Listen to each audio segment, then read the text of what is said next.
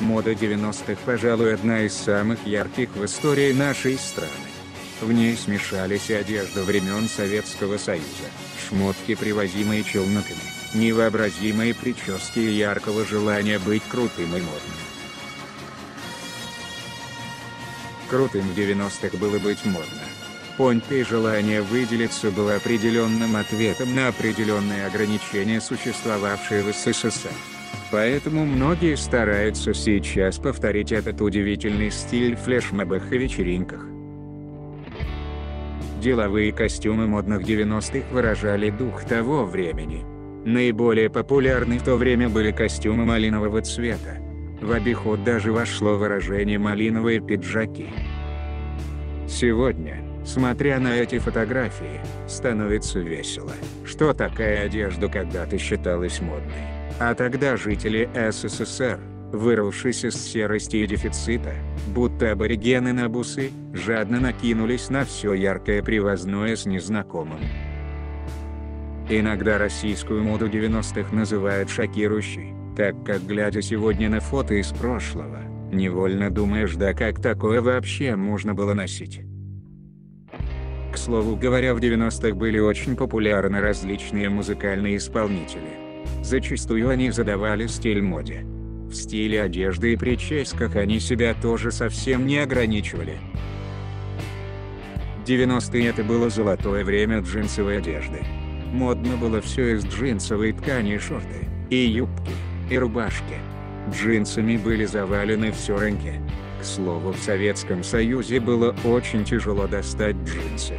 Поэтому спрос был адский. Такие джинсы были почти у всех. Джинсы Мавин. Они хлынули к нам вместе с челноками, в считанные недели заполнив толкучки по всему бывшему СССР. Они были дешевле известных марок, поэтому их носили все и везде. Спортивную одежду в 90-х носили всегда и везде. Она была недорогая, отвечала запросам той моды, была яркая и практичная. Были очень популярны безымянные спортивные костюмы из балоневой ткани ярких расцветок и, конечно, Adidas. Половина населения ходила в таком Адидасе, который позже стал Абидасом, Адибадасом и любым другим Абьебасом, потому как шили его все кому не лень. Но это не останавливало ни продавцов, ни покупателей. Классическая одежда 90-х куртки, кожанки, плащи. Причем все это можно было совмещать со спортивными штанами и классическими туфлями или кроссовками. Обязательными атрибутами успешного делового человека из 90-х годов были барсетка и свитер бойс. Невероятно, но почти у каждого был такой.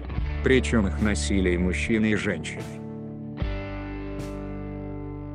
Лосины были настолько популярными в 90-х были почти у каждой представительницы прекрасного пола, которая могла позволить их себе носить. Лосины были от черных до самых невообразимых кислотных цветов. Модными в 90-х были кроссовки Adidas. Также мы носили различные некачественные кроссовки из дермантины с абсолютно твердой и плоской подошвой.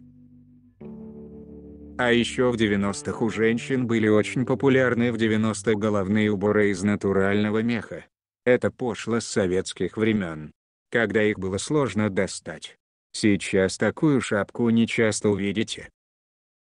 Одежда футбольных фанатов также пронизана духом того времени.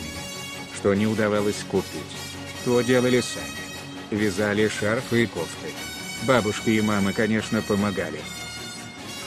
Мода рокеров и неформалов тех лет состояла из джинсовок, косух клетчатых рубашек и конечно значков и нашивок, в любом мыслимом количестве.